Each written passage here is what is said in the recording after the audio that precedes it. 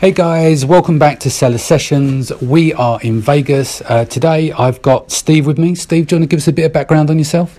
Hey, yeah, my name's Steve Cesari, and uh, I hail from uh, New York originally. And my brother and I, over the last 30 years, have been helping uh, to build and develop world class brands and world class people. And uh, we've worked on some brands from the George Foreman Grill, the Sonicare, OxiClean, GoPro camera. We're real good on helping taking uh, great products and concepts and helping build national brands out of them. Excellent. So if we would break that down a bit, we we met in the food queue last night, didn't we? As we, we come in, both a little bit jet lagged. You were trying to order a cheeseburger and you had a little trouble. You, you, you were trying, you really wanted fish and chips though, right? I think, because yeah, being English, I definitely like the fish and chips thing. But what interested was most interesting for me and for our audience is the fact that a lot of our guys are on Amazon and some people use that as their whole business rather than a channel. Right. Now, what you do is a wraparound, which is even larger. Like you mentioned the George Foreman grill and stuff. So how would you be able to say take a, a really successful product on Amazon? What would be the stages that you take it to for the next realm? Yeah, well, well, again, we work with select entrepreneurs and businesses hmm. because, mm. again, it's got to be a, a, disruptive product that will really uh, engage and disrupt a category that it's in. And when we find them, what we do is we have what we call the Cesari Ignite 360 degree sales cycle. And and literally, I like to tell people we were Shark Tank before Shark Tank for the last 30 years, we've been helping introduce people to our channel partners, digital marketing, social media, uh, retail relationships, public relations, and obviously Amazon is a component of what we do. But we've been finding a lot of our new clients are people that have been doing exclusive business on Amazon and don't know how to market off Amazon. So, what we do is come in and working with our channel partners, which are former executives at Amazon, help them maximize their experience there, but then help them move beyond Amazon. And, and, and again, if their product makes sense to do on the shopping channels or digital marketing outside of Amazon, retailers, we open up those doors and avenues. And, and again, because of our 30 year track record, uh, when we walk to one of our channel partners, uh, they open the door uh, whether it's at the shopping channel, QVC, uh, or some of the retailers that we work with. Yeah, I mean, what's interesting what you're saying is about being disruptive, and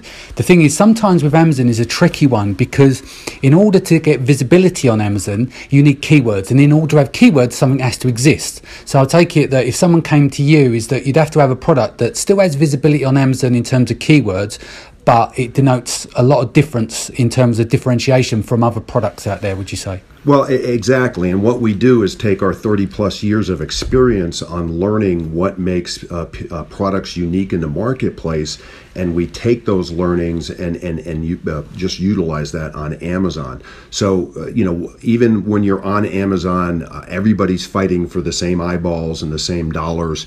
And what we try to do is look at how do we create uh, a unique message uh, and again, you got to remember that we are looking for a unique product uh, for that message to resonate about.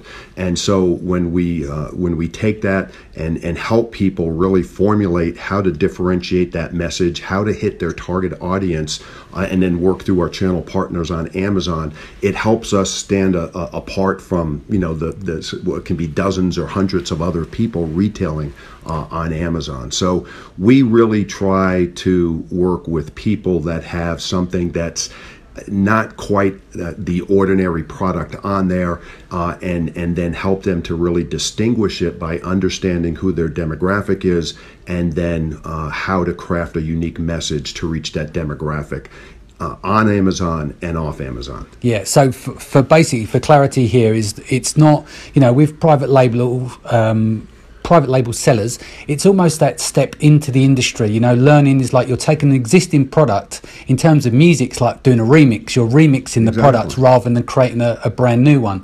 So this is obviously more for people that have got their feet wet in terms of developing private label products, in terms of taking existing products making the changes, improving on it, and then taking the next step where they're actually designing the product from scratch and they're making the molds and they're coming up with unique products, is what you're saying? Uh, yeah, for the most part, that's what we've worked with. And I'll just use the George Foreman grill. There were grills, hundreds of grills on the marketplace. Yeah. And actually, when the George Foreman grill first came out, it was called the Taco Express. Yeah. And the reason it has all those grooves in there is because they, you would, they wanted to cook the hamburger and you could scrape it right into the taco. Hmm. Well, back when we were putting this together, we realized that health and nutrition was a really big uh, key word out there in the marketplace, and we repositioned it from the Taco Express to uh, the George Foreman Grill. Obviously, we got George Foreman to participate, and, and and that's another unique aspect that we do. We always try to have a spokesperson uh, and a face of the brand because brands that have faces and spokespersons with them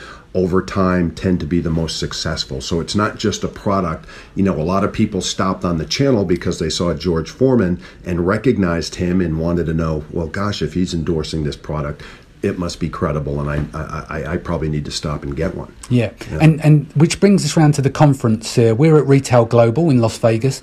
Um, you're here speaking as well. What, what's the subject matter you would be speaking on? Uh, we're going to be talking about the six uh, attributes of the successful brands that we have worked with.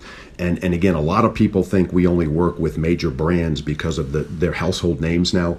Well, nobody knew who they were when we first started working with them.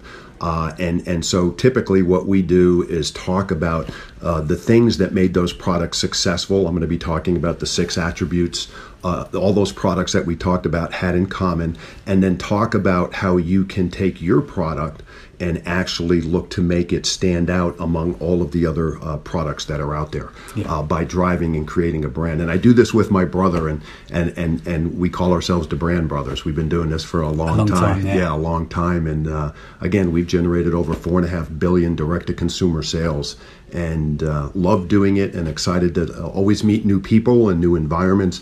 And are excited to see uh, who we're going to meet in the next couple of days at uh, Retail Global. Excellent. And if you were to give an, uh, some advice to an Amazon seller or a group of Amazon sellers, what's the key things that you would advise them on now on day one? Uh, you know, we met some folks at a uh, show out in Las Vegas three months ago called the Prosper Show, and, and they were all Amazon sellers and resellers. And literally, they were all buying products in China and selling them on, on Amazon. And, and their own words, we buy crap uh, in China and sell it.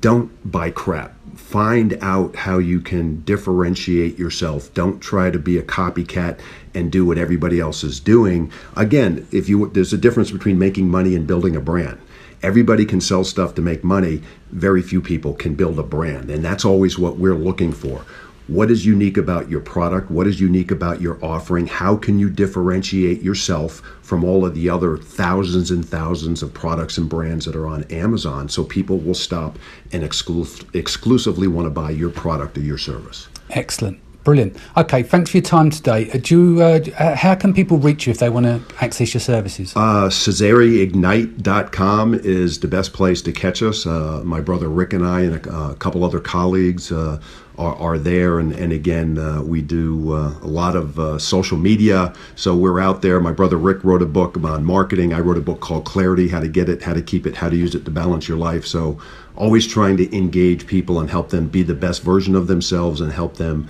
uh, create the best version of their business. Thank you. Cheers My- today. Thank my, you. My pleasure. Thank you. Take care.